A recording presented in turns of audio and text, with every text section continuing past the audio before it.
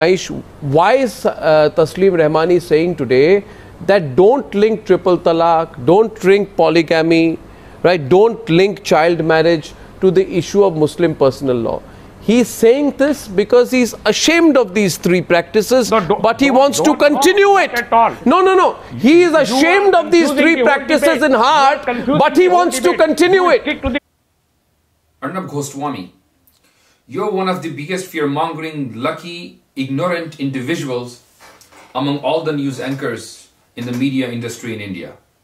You pretend to know everything, however, you know nothing but shouting. For your information, we Muslims are not ashamed of any of these practices that you indicated. We're not ashamed of triple talaq, we're not ashamed of polygamy, we're not ashamed of child marriage. The reason is that if you look at the census report, you will find out that the ratio of child marriage and polygamy is much higher in Hindu community than Muslim. According to the report, 15.25% tribals practice polygamy, 6.7% Jainis practice polygamy, 7.9% Buddhists practice polygamy, 5.8% Hindus practice polygamy, and 5.7% Muslims practice polygamy. And this report was released in 1961, and after that, there is no official data collected by the Indian government. And by the way, for your information, the tribals, according to Savarkar, your role model are Hindus. So if you calculate 15.25 and 5.8%, that's 21.5%. It means 21.5% Hindus are practicing polygamy. So if polygamy is bad, according to your narrative, then Hindus should be ashamed, not Muslims. Because there are more Hindus practicing polygamy in India. And let's talk about the child marriage. You are calling Taslim Rahmani that he should be ashamed of child marriage. By the way, those people who practice child marriage, they should be ashamed if it is a crime in India. 84%, according to the census report, 84% Hindus practiced child marriage only in 2015. Whereas 11% Muslims practice child marriage. You need to get your facts right. You need to understand that there are people watching your shows who have easy access to these uh, census reports. They can easily collect the data and make you look fool. and the Muslim Personal Law Board is not the spokesperson of 172 million Muslims in India. Be clear about that, sir. Is it? Is it in any way? Zeenat Shaukat Ali, is, is it? So who are these self-proclaimed people who claim to represent all Muslims in India? You're setting the highest standard of hypocrisy. You're saying that who are these self proclaimed people who are pretending to be the representative of 170 million Muslims? According to you, there are 83.9 million Muslims women in India. And you think that, that the Muslim Personal Law Board does not represent them, despite the fact that Muslim Personal Law Board has a women body that includes women from all walks of life, women from every state. And the reason why I call it a greatest standard of hypocrisy because the woman attending your debate, her name is Nahid Hassan, you call her a representative of 83.9 million women.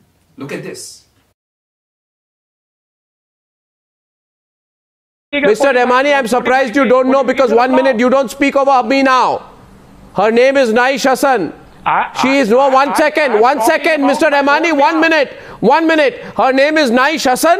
She is the co-founder of the Bharatiya Muslim Mahila Andolan, and I can tell you with confidence that she represents 83 million Muslim women more than you do. So, a board with a woman body in it, and that body includes women from all walks of life and from every state, does not represent, according to you, 83 million of women. Whereas a woman who was not known to even her hometown by attending a show at your TV channel suddenly becomes a representative of 83 million women. What a great logic. And that's why I say that you have set the highest standard of hypocrisy. You claim that you know everything.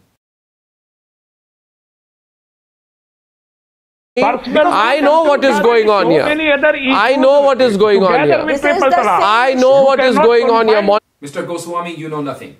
I have given proof that you are one big lucky ignorant doing your show on national TV. How unlucky and unfortunate we are that we get to see your face every day for one hour in your news hour show. We hope that this turmoil of ours ends soon. One the rights, Mina- Mina- may, I, may, may I serve with utmost respect? Yeah, the, the rights of inheritance, the coparcenary rights of a girl born in a Hindu family, her rights over the joint family assets, her rights of inheritance, her rights of maintenance, her rights of remarriage, her rights of adoption. Do you know the Hindu Adoption uh, Maintenance Act says that even a single woman can adopt a child to this? No, no, These no, are not the ju- no, no, progressive not just that. laws which are no, no, not just The lady on your show claims that the law of inheritance in Hindu Act is more progressive than the law of inheritance in Sharia. Let me tell you this. the only picture you see is that if a father died and he left behind a son and a daughter, and they don't get equal amount of money, they don't equal amount, they don't get equal amount of wealth, it means that such law is biased towards women and it's a form of discrimination. The reason why you're saying this because you have not been trained to look at the bigger picture. The bigger picture is that there is not only one scenario of inheritance, rather there are little more than 30 scenarios of inheritance if a person died. And I can tell you very clearly that out of these 30 scenarios, there are only four scenarios where a man gets little more than a woman, whereas there are 10 situations where a woman gets exactly equal to what a man gets. And there are 16 situations where a woman gets more than what a man gets. So you're bashing Islam and you are criticizing the Islamic law of inheritance because when the father died and he leaves behind his wealth, so the son has the opportunity to go to get more than what her, what his sisters get. Just because of that one scenario, you are demonizing and criticizing Islam and degrading the Sharia, Sharia law. I'm sorry, your ignorance cannot be a reason for us to compromise with our personal law. We understand our personal law much better than anyone else. With this level of ignorance, in fact, you lost the moral right to even organize a debate on your show. You should better be prepared next time when you talk about Islam. It is not for fear mongering paid anchors. It is only for those who try to seek truth.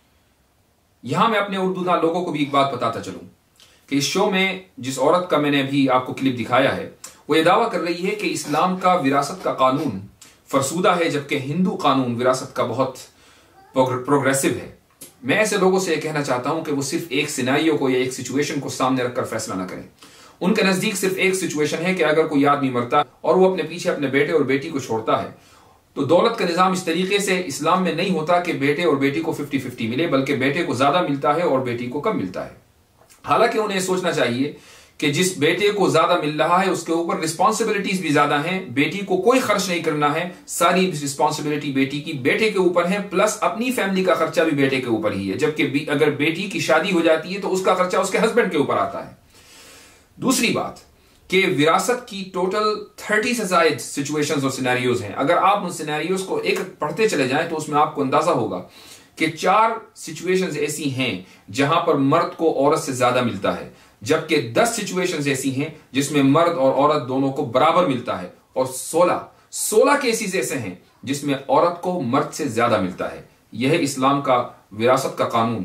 اگر آپ پڑھے لکھے نہیں ہیں اور آپ شریعت کو نہیں سمجھتے ہیں اور آپ وراثت کے قانون کو نہیں جانتے ہیں، تو آپ کو یہ حق حاصل نہیں ہے کہ آپ اسلام کی وراثت کے قانون پر کرٹیسائز کریں اور نیشنل ٹی وی پر آ کر آپ شریعت کو فرسودہ قرار دیں۔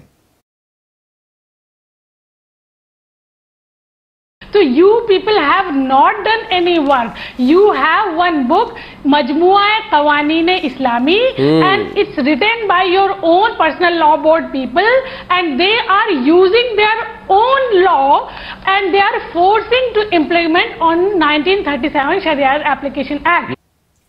The reason why people in the Muslim Personal Law Board had to write this book, Majmua Qawanin Islami, so ignorant people like you can easily understand the Sharia because you have no direct access to the Quran and Sunnah. You don't understand Arabic language.